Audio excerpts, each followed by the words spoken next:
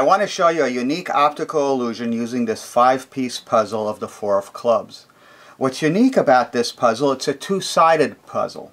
There's also an image printed on the back of the five pieces. Let me show you. Logically, since it is a playing card, a giant Four of Clubs, the back is the back of the card. But did you notice something strange? The back is only a four-piece puzzle.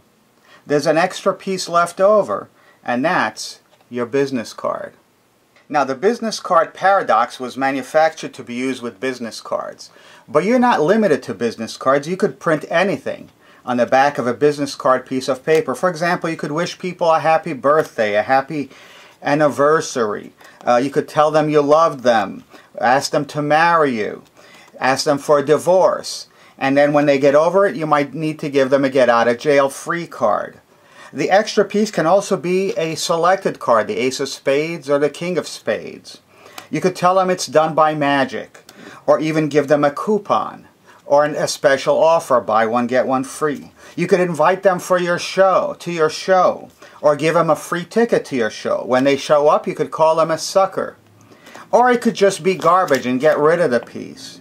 Or you could give out the card of the people you work for. Basically anything you want. Me, I prefer to give out a business card.